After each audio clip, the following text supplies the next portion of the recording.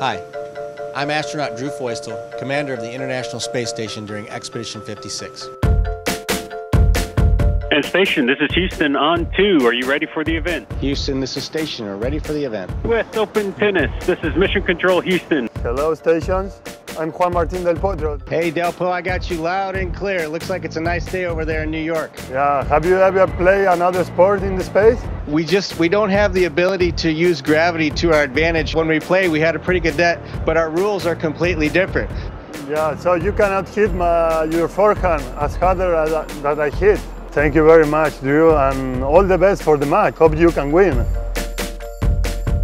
Being the first to play tennis in space has been a bit of an adventure. I was surprised there had never been a match played in space before. I hope you enjoy your next game of tennis.